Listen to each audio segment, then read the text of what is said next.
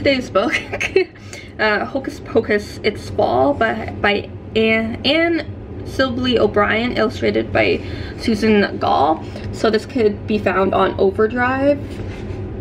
Like it opens up in like a browser link instead of just like a book within the app. So there is that. Um, but not a lot of words per page.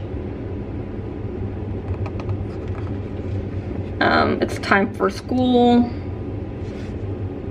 Um, some don't have like words, but like the pages would connect to the one that does. Um, Chilly Gus toss leaves around Shazam. So it has like those like comic book type of like words at the end of the sentence. A blanket for the ground. Um, this one's about like chipmunks. Not everyone has, not every um, image has like that other like word or like wrap up tight with winter near hocus pocus. All is here. So like obviously this uh, these aren't all the pages in it. Um, so it's a great little um, book for like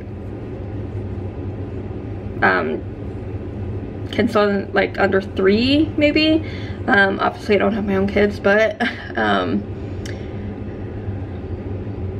yeah. So I'm gonna guess like under like three. It's just basic few sentences of a four sentence and everything. Um, so nice little book to connect with the seasons and everything so it's a nice little book to read to the younger kids.